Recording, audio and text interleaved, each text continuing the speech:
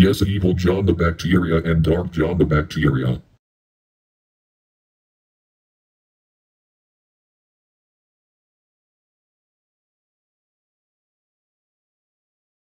No evil John the Bacteria and Dark John the Bacteria. You know they're one of the worst characters ever from Talking Friends, because they cause trouble for fighting over a TV, and other bad stuffs like all Talking Tom A. Leggins, all Talking Bens, all Dark Bowsers, all Dark Charlie the Antitus, other troublemakers. That's it. You're all extremely grounded. Go to your room right now.